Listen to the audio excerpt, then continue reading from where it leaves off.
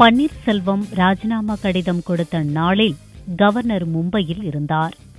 அப்போது முதல்வரின் ராஜினாமா கடிதத்தை ஃபேக்ஸ் அனுப்பிவிட்டு ஒரிஜினலை ஒரு கவரில் வைத்து சசிகலா தரப்பினர் ஆள் மூலமாக கவர்னர் அலுவலக அதிகாரிகளிடம் கொடுத்துள்ளனர் அதை அதிகாரிகள் பெற்ற நிலையில் உடனடியாக ராஜினாமாவை ஏற்றதாக கடிதம் வேண்டும் என கவர்னர் அலுவலகத்துக்கு அழுத்தம் தரப்பட்டுள்ளது.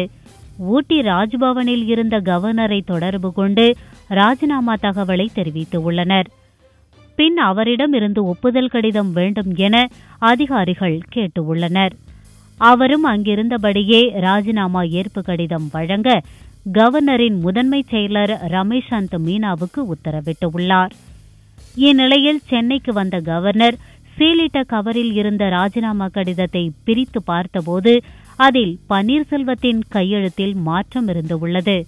அதாவது கையெழுத்தின் அருகே பிற்பகல் ஒன்று நாற்பத்தி ஒரு மணி என ஆங்கிலத்தில் குறிப்பிடப்பட்டு உள்ளது. அதை அவசரத்தில் தேதி என நினைத்து சசிகலா தரப்பினர் அனுப்பிவிட்டனர்.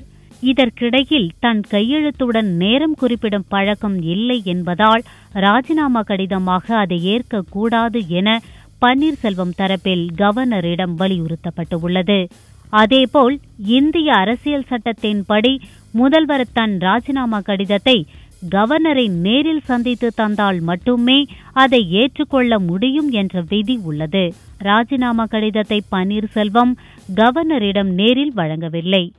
இதிலும் பன்னீர்செல்வத்தின் பக்கமே சாதகமான சூழல் உள்ளது. மேலும் பன்னீர்செல்வம் ராஜினாமா செய்ததாக வெளியான கடிதத்தில் ஃபேக்ஸ் நேரம் ஏழு இருபத்தி இரண்டு மணி என்றும் தேதி ஜனவரி ஒன்று இரண்டாயிரத்து பதிமூன்று என்றும் தவறாக குறிப்பிடப்பட்டுள்ளது.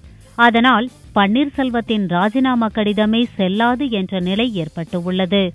மேலும் சசிகலா கவர்னரிடம் வழங்கியுள்ள எம்எல்ஏக்கள் ஆதரவு கடிதத்தில் பன்னீர்செல்வம் பெயரும் உள்ளது. அவர்தான் முன்மொழிந்ததாக கூறப்பட்டுள்ளது. சசிகலாவுக்கு எதிர்ப்பு தெரிவித்து அவர் ஆட்சியமைக்க உரிமை கோரியுள்ள நிலையில் அவரது பெயரையும் சசிகலா தரப்பினர் சேர்த்து உள்ளதும் சர்ச்சையை ஏற்படுத்தியுள்ளது.